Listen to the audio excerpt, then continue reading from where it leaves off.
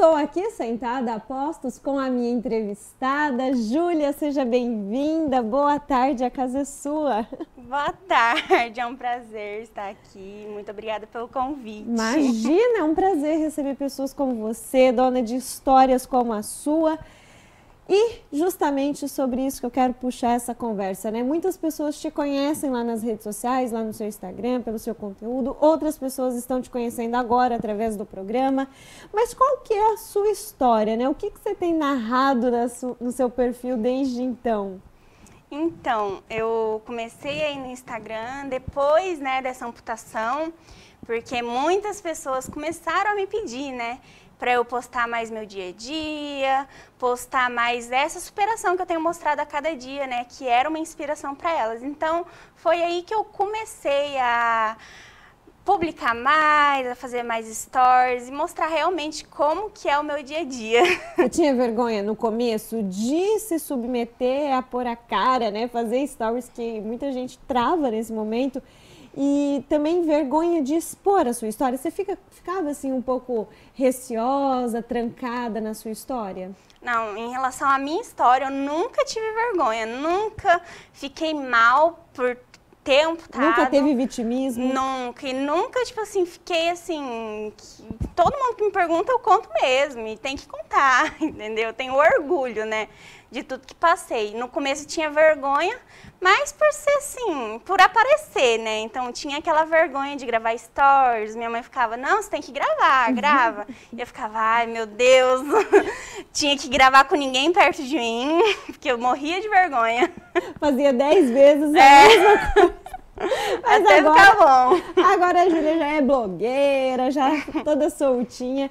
Mas, Júlia, a sua história propriamente, né? Em 2020, quantos anos você tinha? O que, que você começou a sentir? A gente, claro, sabe que o desfecho dessa história hoje foi a amputação da sua perna. Você está aqui no programa com a prótese. Mas como é que foi é, os primeiros sintomas, as dores? Quantos anos você tinha? Como é que foi esse processo de lá para cá? Então, eu tinha 19 anos, né? Foi em agosto de 2020. Eu sentia apenas dores no pé. Eu tinha uma vida muito ativa, eu caminhava, corria na lagoa e eu sentia dor no pé apenas. E por isso que eu falo que as doenças autoimunes, elas dão sinais no nosso corpo e muitas vezes a gente não presta atenção, né? Nos sinais que o nosso corpo dá. E acha que é apenas ah, uma dorzinha. E aí, até que um dia eu comecei a sentir muita dor no meu pé. E aí eu comecei a falar, isso tá errado. E eu já falava, vou perder meu pé, porque tá doendo. E aí eu fui no UPA, fal, é, o médico falou que não era nada, fui em posto de saúde, falou que não era nada. Até que eu fui no particular, né, no vascular, e aí ele falou, falou assim, ó, já tá tudo entupido, né? tudo entupido. Aí já me encaminhou para Campo Grande. Aí eu cheguei em Campo Grande, tentei fazer três cirurgias para salvar o meu pé. Aí só que eu fazia, desentupia num dia, no outro dia já estava entupido de novo. E aí falaram, tá errado, uma menina de 19 anos que parece ser 100% de saúde, né? Ter trombose, assim, uma trombose arterial, que é bem difícil de ter, né? Porque, mas como é venosa, e aí foram, né, diagnosticar, foram procurar, né, a causa. Até que saiu o diagnóstico que eu tenho duas doenças autoimunes, né, que é o lúpus e o SAF. O SAF é isso, ele coagula ali o sangue e aí forma ali a trombose, né, e aí, né, pode perder ali o membro ou onde for, pode prejudicar. Então aí eu fiquei, eles me deram, como é arterial, não tinha perigo de subir, eles me deram ali o meu tempo para eu poder assinar o papel, né? Maior de idade, já tinha autonomia de assinar o papel. Então eles me deram ali o meu tempo, só que aí eu tive uma crise. Não, uma infecção. Hum. E aí podia generalizar essa infecção a qualquer momento. E aí as enfermeiras que já tinham criado amor por mim falavam, vinha chorando em mim, falavam, Júlia, você não passa dessa noite, vai generalizar isso, você não passa dessa noite. E eu sempre tive muita fé em Deus, né? E aí foi quando eu entreguei minha vida nas mãos de Deus, falei assim, ó, se for da sua vontade, eu quero fazer, eu vou fazer, vou viver bem com isso, porque eu sei que os planos de Deus são maiores. então eu peguei e entreguei nas mãos dele, tanto é que no meu Instagram eu conto mais certinho, mas eu coloquei uma hora que eu falei assim, ó, eu quero que seja tal hora. Se for resposta de Deus, tem que acontecer tal hora. Tudo conspirou para não acontecer nessa hora. No último momento, o médico falou assim: Nossa, a gente está em outra cirurgia agora, a gente pode prorrogar para as três horas, que foi a hora que eu falei. Aí eu falei: Não, beleza. então, tipo assim, tudo conspirou. E aí, quando deu o horário, eu entrei na sala, de cirurgia, na sala de cirurgia no horário certinho que eu falei para Deus. Então, ali eu vi que era Deus me falando que era da vontade dele, entendeu? Júlia, em algum momento é, esses médicos te desencorajaram de dizer, olha, essa cirurgia ela pode ser arriscada, mas é melhor fazer, mas pode não haver garantias? Não. Ou ao contrário, eles te estimulavam, te animavam? Eles Você me tinha... estimulavam, né? Porque era a minha vida, né? Uhum. Eu percebi ali que, porque eu tinha fé que meu pé seria restaurado, né? Só que eu percebi ali que não era questão de restaurar o pé, era questão da minha vida, né? Uhum. De, eu viver, né? E não um pé. Então, os médicos sempre me apoiaram, me passaram Instagram de, Instagrams de influencers amputadas que eu comecei uhum. a seguir. Inclusive, essa prótese que eu ganhei, ela é super cara, eu não teria condições. Eu ganhei de uma modelo que eles me passaram no hospital, e aí ela fez um sorteio e eu ganhei essa prótese. Então, tipo assim... E já que você entrou no, no assunto prótese, só cronologicamente aqui na linha do tempo, em agosto de 2020 foi todo esse processo de uhum. diagnóstico, internação, fez a cirurgia. Que momento que chegou a prótese? De que forma que foi? Foi em Campo Grande também? Não. Foi assim, eu saí do hospital em setembro, né, que eu fiquei 40 dias internada. Uhum. Em setembro eu saí do hospital e aí, no que eu saí, foi muito assim de Deus, eu falo. Essa modelo, que é a Paula Antonini, publicou no Instagram dela que estava sorteando uma prótese. Sorteando, na verdade, só o pé. Só o pé é 20 mil reais, pra você ver. Então, tipo assim, é, aí eu peguei e participei. E aí, em novembro, eu ganhei o pé, aí ela falou: se você vir para Belo Horizonte colocar aqui no meu protesista, ele vai te dar o resto. Senão a gente manda o pé. Eu falei: opa, a prótese inteira é 40 mil, então eu vou, compensa mais eu ir. Fui, dia 1 de dezembro já estava andando. Puxa vida, então você colocou a prótese lá em BH. Lá em BH. Caraca, precisou ir para outro estado. E como é que é a sua vida hoje? Você comentou que você gostava de ir para Lagoa, caminhar, correr. Uhum. Como que é a sua vida hoje, Júlia? Hoje, assim, muitas coisas faria que eu ficasse em casa ali, né? Só que não, hoje eu tenho minha vida, eu faço enfermagem, não parei, né, de fazer, porque eu já fazia antes, não parei de fazer e trabalho, faço hitbox, faço funcional, faço. vou pra igreja, então, tipo assim, tem uma vida normal, normal. Gente, é inspiração mesmo. Você falou do curso de enfermagem, Júlia. Você já fazia o curso antes de tudo isso acontecer? Ou, mediante toda essa sua história, você decidiu cursar enfermagem? Não, eu já fazia, só que eu passei em enfermagem com a intenção de mudar para medicina, que era o meu sonho e tal.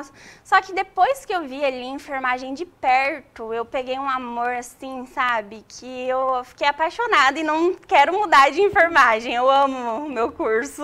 E todo o carinho que você criou com enfermeiras no seu Sim, período de nossa, foi assim, foi um amor muito grande, sabe? Todo mundo ali cuidou de mim tão bem, um amor muito grande mesmo.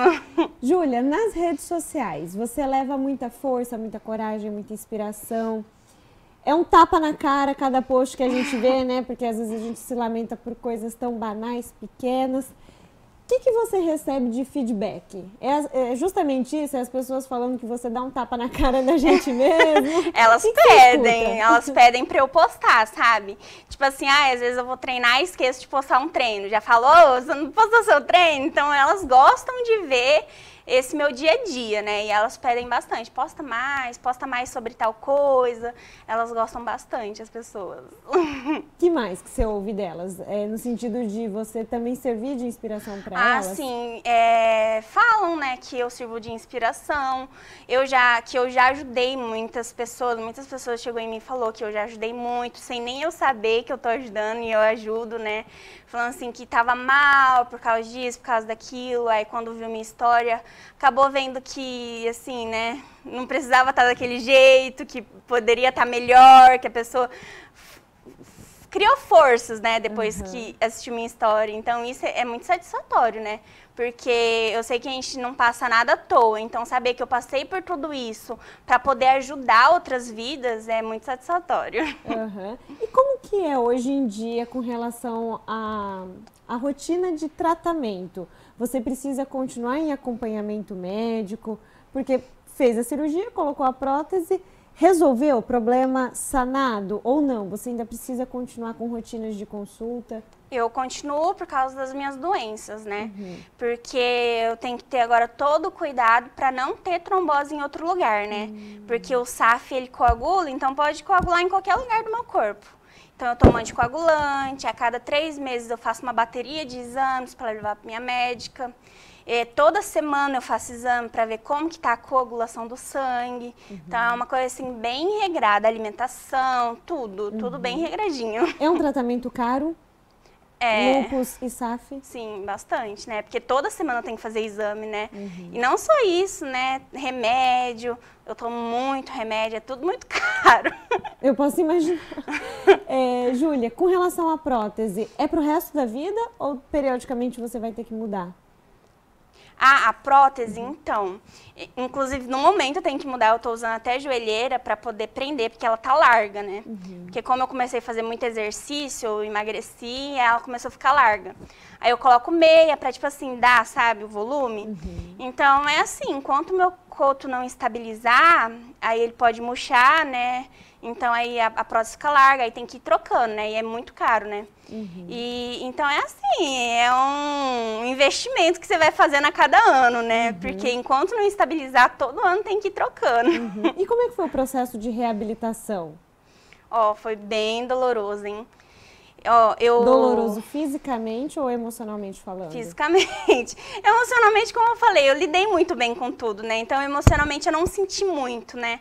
Eu sempre fui muito grata por estar viva, né? Então, emocionalmente, nunca me afetou. Mas o fisicamente, nossa, eu achei que não iria conseguir me adaptar, porque machuca muito, cria bolha e machuca, sangra. Então, eu achei que não iria conseguir, né? Só que aí o, o, olha que interessante. Eu comecei a realmente a ter foco, me adaptar quando eu recebi proposta de emprego. Eu falei assim, eu não vou trabalhar de cadeira de roda nem a pau. E aí foi quando eu peguei a prótese, ficava o dia inteiro com a prótese, falava, eu vou conseguir, vou conseguir. Coloquei isso na cabeça e me adaptei. Foi um período que demorou muito? Foi que, assim, eu fiquei com a prótese acho que uns seis meses, mas aí eu recebi, assim, a proposta de emprego. Em dois meses, aí eu me adaptei. Você trabalha com o que hoje, Júlia? Eu sou auxiliar administrativo. E vai acabar a faculdade quando? Tá na metade do curso? Tô, tô no terceiro ano agora. Então já já tá nos hospitais exercendo. Já já, em nome de Jesus. Júlia, queria te agradecer por, pela disponibilidade de vir aqui no programa, de expor sua história que você já compartilhou com tantas pessoas nas redes sociais e aqui agora com a nossa audiência do programa. Muito obrigada, parabéns. E não pare de fazer isso, porque de fato você é muita inspiração para muita gente. E aproveita, qual que é teu Instagram? Então, meu Instagram é o arroba juliarosa, Eu quero contar uma coisa. Pois não. Eu quero crescer o meu Instagram, eu quero crescer, assim, nesse negócio de blogueira, influencer. Porque o meu sonho, o meu projeto é um dia conseguir criar tipo um instituto onde eu consiga dar prótese para pessoas, porque prótese é uma coisa muito cara e tão necessário, né, na vida de um amputado. E não só prótese, mas dar tratamento de saúde, porque tratamento é, é para a saúde é uma coisa cara também e que é difícil, né? Não é todo mundo que tem condições.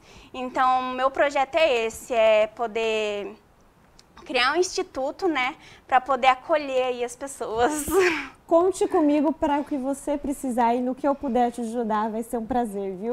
obrigada. Parabéns pela sua história mais Muito uma obrigada. vez.